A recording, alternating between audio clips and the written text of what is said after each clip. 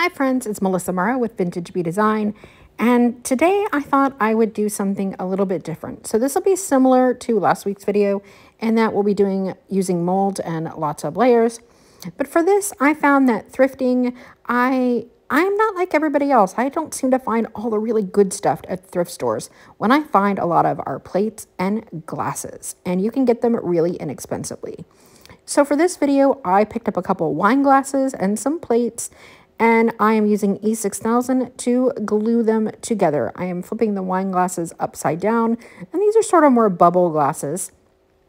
And I am then going to use my redesign with Prima molds, a couple different molds, and I am going to add them to the variety of configurations that I have done here. As you will see, I like to use a popsicle stick on some of these when I'm doing a lot of molds. I find it helps my fingertips a little bit.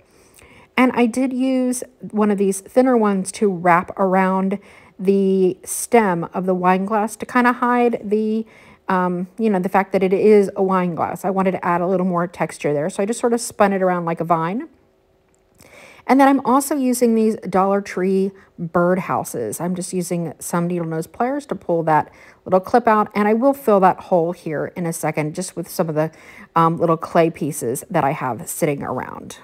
You might notice that my bird houses have names of paint colors on the bottom and that they are pre-painted.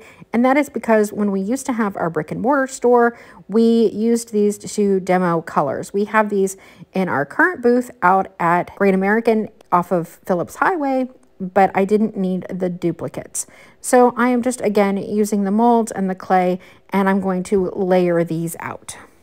If you find that these are sticking, you can always um, sprinkle some cornstarch or dust them with cornstarch and they'll come out really nicely. I have not found that to be a problem typically. I'm measuring this up and I'm just going to trim each of these in the same place and then I will use wood glue to attach them to the birdhouse. And for this project, I'm using a little bit different shape birdhouse, and this time I'm attaching it to a champagne flute. Once I've used E6000, let everything dried overnight, and have added molds and let them dry overnight, then I'm going to take them outside and I'm going to hit them up with some spray paint. And I'm choosing black for this, and I'm using the paint and primer in one. I'll show you the can in a moment. And I'm just trying to get a good coat I didn't do two coats on most of these. The goal here is that if I end up distressing back at all, I'm distressing back to the black and not to the glass itself. And I find spray paint to be the easiest way to achieve that. And here you get a really good idea of all the pieces. Okay, so the next part I'm going to take some DIY Apothecary and I'm going to mix it with some sea salt. And that is Dixie Belle's version of salt wash and I am just um, mixing it up. I want this to be fairly thick because I want to add a lot of texture.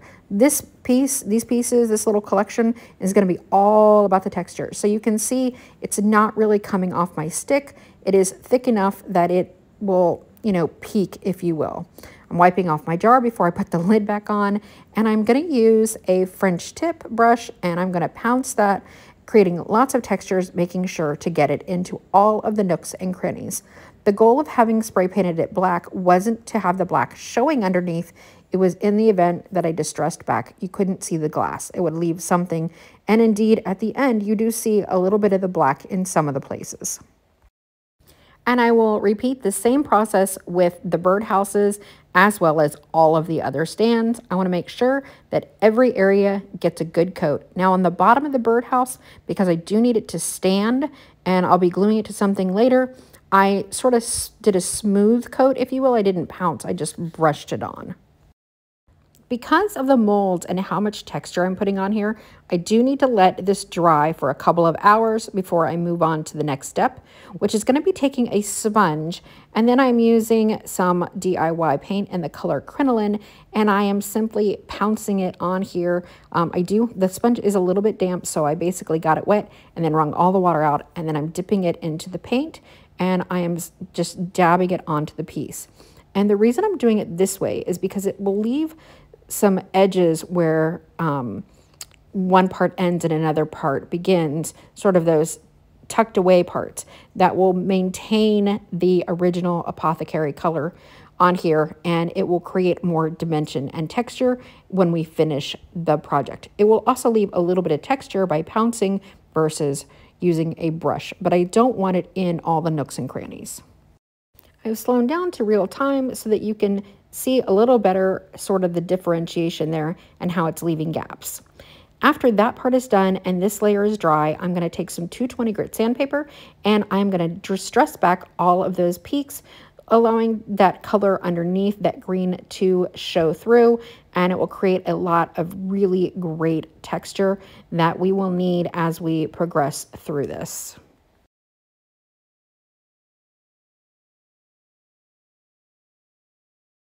And here's a quick reminder that you can follow us on all social media at Vintage Bee Design. And we have a community in Facebook called Creating the Hive or Creative Con Vintage Bee. And I have just started a new coaching group. Membership is only $20 a month. There's lots of discounts. Links in the description below. Let's get back to crafting. One of the best ways to showcase texture that you've created is to add a dark wax or a white wax. In this case, I'm going to go with a dark wax because I'm actually going to layer waxes here, but I really want this to look more vintage and old, and I think that dark wax tends to show all of the character and texture a little bit better. I did clear wax at first, which allows me then to use clear wax as an eraser to brighten up the piece. My goal isn't to make this dark, it's to make it look a little bit rustic and vintage. And I know pieces like this can seem like there are just so many layers, but I promise you the end result is definitely worth it because these do not look like plain glass or dollar store pieces anymore. They are definitely high end and you can get some good money out of things everybody can find at the thrift store. So the next step is to take some white wax and as I always say the DIY white wax is my favorite of all of the white waxes that we sell and I'm using a stencil brush and I'm basically dry brushing this over the entire piece. And this is going to brighten all of the highlight areas and leave that dark wax sort of in the low areas and then the white in the high areas.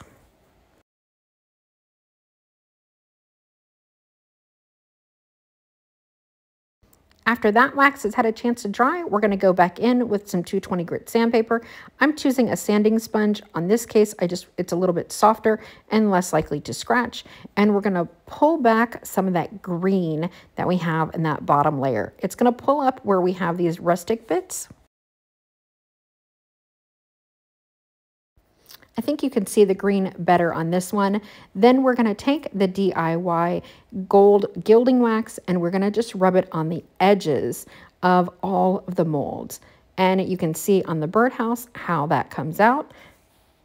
This is what really gives it that French country shabby chic look. And for the finishing touch, I have this goose that had been painted a few years ago and it needs an update. And I'm just using Dixie Belle's buttercream and I'm going to paint the entire goose solid buttercream. And here is a look at the finished projects. I hope you like my collection today. All I did to finish these off were add some shabby bows, which I showed how to do in my last video, and then add a little bit of Spanish moss and a little bit of green moss that I both got from the Dollar Tree. And then I had some leftover greenery that I sort of stuffed and fluffed here and there, but adding some nice greenery really topped these off. And I will have these for sale uh, on my website, vintagebeedesign.com. And I will also leave a link and a description of all of the molds and all of the products that I used in the description down below. Thank you so much for joining me today. I hope you enjoyed today's video. And if you are new here, please be sure to like and subscribe. It really helps to grow the channel. Thanks so much and have a great week. I will see you guys again next Sunday. If you enjoyed these pieces and you really like them, I would love to hear in the comments what you think. Do they still look like bowls and glasses or do you think that I achieved a high-end look that you would never notice if I hadn't told you? Also, let me know which of these projects you might try out and which one you like the best. Thanks again.